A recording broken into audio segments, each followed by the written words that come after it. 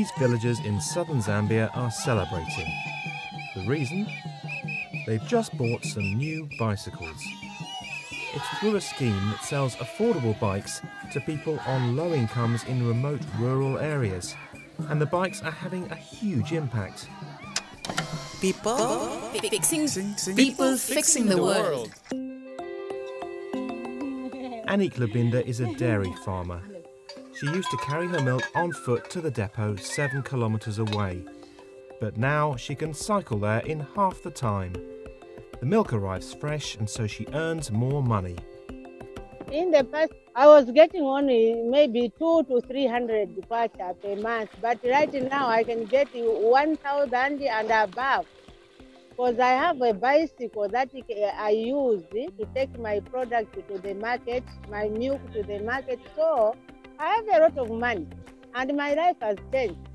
When you buy the bike, you also get a mobile phone.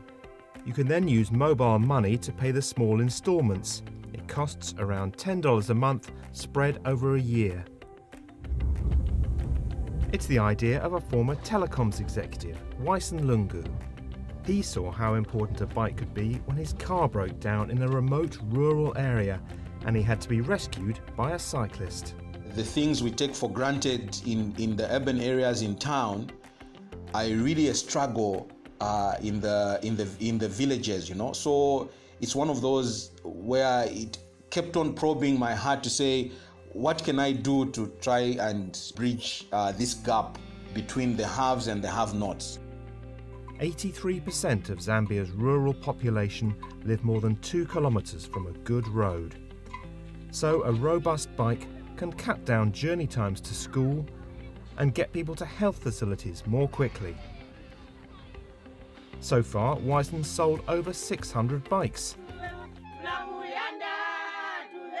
But he's been overwhelmed by the demand. When we're arriving with a car, they start running to the car. You know, they surround the car. Then, you know, they are chanting, they are singing. It's just amazing. And then you realize what a bicycle can do.